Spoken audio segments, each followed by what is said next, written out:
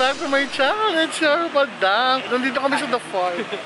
Hi! Welcome back to Madam Ellis Vlog. Congratulations, pare! 300! 300,000 subscribers! Thank you, thank you. Hoy, Mare. Wala kang camera ngayon. Nasa hospital lahat ng camera ni Lloyd. Pinapagaling ko sila kasi meron silang malalang sakit. Punta muna kami dito sa... May nakita kami kainan. Yung whistle niya, pinapractice niya po kasi may concert siya. Bakit copyright? Oo nga. So ayan, papakita ko na lang sa inyo yung mga kainan dito. Tara!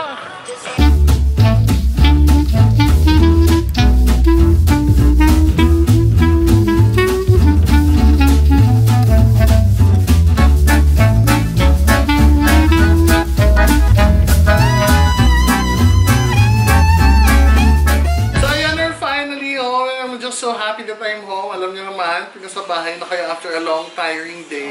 So ayan, thank you so much, Damn She's from the bottom of my heart. Kaya naman sabi ko kanina, naabot na natin ang 300,000 subscribers! And I'm just so overwhelmed right now. I didn't expect this. I never really looked forward to this day. Ika nga, sabi nila. But nangyari siya and it, that's all because of you. And syempre, we have also very special people na pasasalamatan. Thank you very much, Mars Lloyd, for always being there, for your 101% support. Yung pag-push mo sa amin, yung pagtulak mo, yung panonood mo ng bawat content namin, and pag-comment mo how to improve it. That really means a lot to me. And also, syempre, salamat sa bakla ng taon. Kay Limsy, kay Andrew, kay Aye, kay Jessica, kay Bebang, kay Jeko, kay GM at kay Jovin. Salamat, salamat sa inyong walang humpay na suporta sa amin ni Kuya Harold nyo. Thank you also to Mars Ivan sa aking admin na si Marky. Thank you also. At sa lahat ng damshies out there na naniniwala at nagtitiwala sa atin at patuloy na sumusuporta. At to celebrate that milestone, I just want to thank Miss Aggie.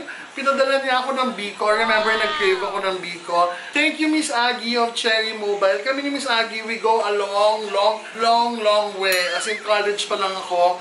We've been friends already. And sobrang dami na naming pinagdaanan. And I'm just so happy that I have someone like her in my life. Thank you so much, Miss Aggie. So ngayon punta naman tayo dun sa issue ni Gretchen. Kagabi nangyari to lahat-lahat. Ang daming nag-comment sa previous video natin kung ano ba yung opinion ko about it. So ako, masasabi ko lang talaga, obviously, what happened last night shows that not all of us are educated about the Soji Equality Bill. Na hanggang sa ngayon, meron pa rin tayong na-encounter na mga ganyang instances. Kung napanood niyo yung video, ako personally, I got hurt. Makikita niyo doon how the guards, how the janitress treated her with disrespect. As in, sobra siyang hindi nirespeto bilang tao. Bakit kaya ganun ang nangyari? So, obviously, sila mismo hindi sila informed. Kahit na may city ordinance na sa Quezon City, anti-discrimination ordinance, hindi sila informed about it. So, if we really go deep sa issue, then we will be able to conclude na yung management talaga ng Farmers Plaza ay may pagkukulang din. Because it's supposed to be their responsibility to educate their people. Nasa kanilang mga kamay ang pag-train,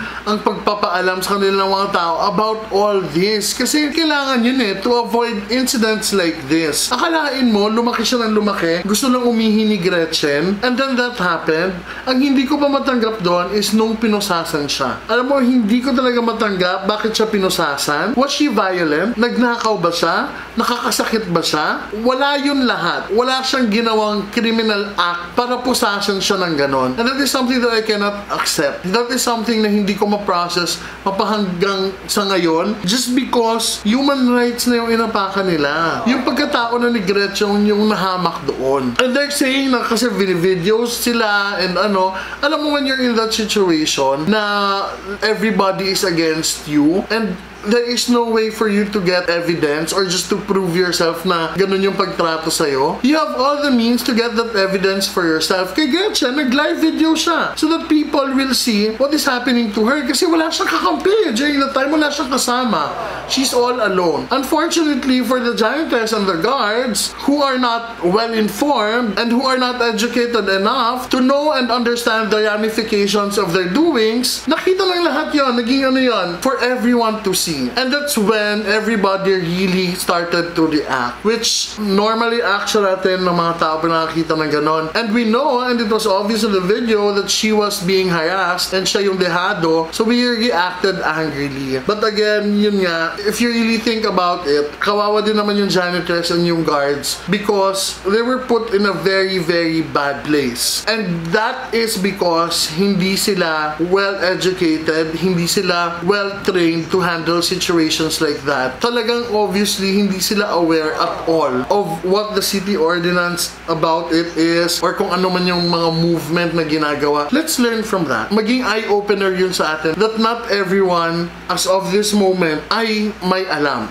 about the Soji Equality Bill, about the movement, about what we are fighting for sa LGBTQ community. And I must admit also, if you remember, nagkaroon ako ng post about um, Soji, I, I cited it because of one comment that triggered me. At kung napansin nyo, tinake down ko yon I took it down because kahit ako mismo, nagkamali ako sa mga terms na ginamit ko, how I explained it. It sounded clear, but then there was a mistake in that uh, statement. There was something wrong with it. Kaya nag-decide ako i-take down na yon because I myself, I'm not a subject matter expert of the Soji Equality Bill. Mapasa hanggang ngayon, kahit ng mga simpleng terms niya. That's why we need to really research kasi sobrang lawak niya and it's something na as of the moment, it's evolving. It's uh, being refined. So, let's educate ourselves that we avoid incidents like this kasi it is our responsibility also to educate people. It is our responsibility to let them know our movement that we are fighting for kung ano yung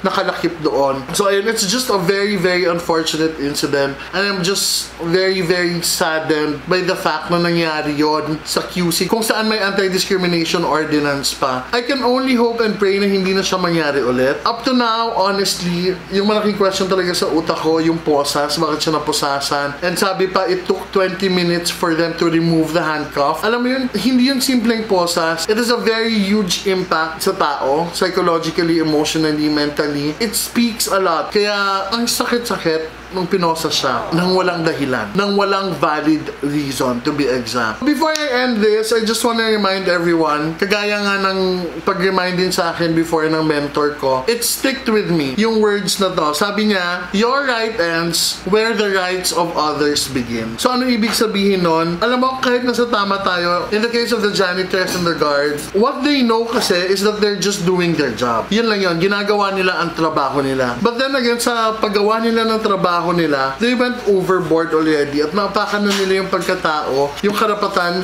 ni Gretchen. At nung nangyari yon, that's what triggered almost all of us to be agitated, to react sa situation because we saw it with our very own eyes. Kaya kailangan talaga magkaroon ng clear boundary. Most of the time, unfortunately, the guards, their training only tells them to obey orders. Their training only tells them na sumunod sa kung ano man yung patakaran at i-implement yon. Because that's their job, that's their mandate, yung security. Kaya nung tumawag ng backup yung janitress, yung guard, ginawa niya yung trabaho niya, di ba? Dinala nila si Gretchen sa admin office. Yung janitress naman, she's a very simple person. Para sa kanya, she was just doing her job as well. Yung utak niya, nakaprogram na yung lalaki sa panlalaki, yung babae sa pambabae. And that's something na naging obvious naman on how she treated Gretchen, di ba? But you know what? That's the reality that we have to face. That these people, kagaya ng garden ng janitress, kung ano yung sinabi sa kanila, kung anong paniniwala nila, they stick with it. That's why it is with all hopes na sana when we educate people, when we educate others, ay matanggap nila to, ma-process nila, at maintindihan nila tayo. Yun yung pinaka main goal. Hindi lang yung masabi natin sa kanila ang mga bagay-bagay, pero sana ma-explain din natin ng maayos at mabigyan ito ng kaliwanagan sa kanila on why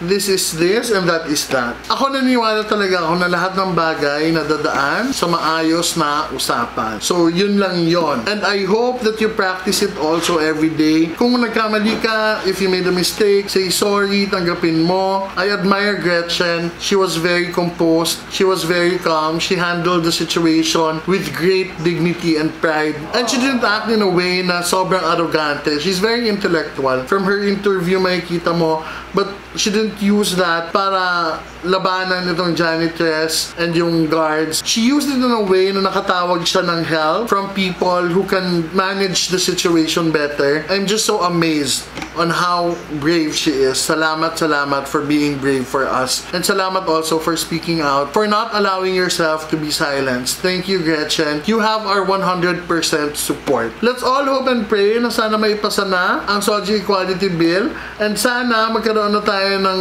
education about it, kung paanong programan yan, kung paano man yung pwede nating gawin. Please, please, please comment down below kung anong mga ideas nyo on how we will do that or on how we will educate people. Magtulungan tayo. Kailangan yun ngayon sa panahong to, kung nakita nyo naman. So ayan, maraming maraming salamat for joining me tonight. I hope na nag-enjoy kayo ngayong araw na to. Please, please, please don't forget to rest. It's a long day. Thank you so much. Please don't forget again to share and like this video. Pag nyo na rin kalimutan mag-subscribe sa aking YouTube channel.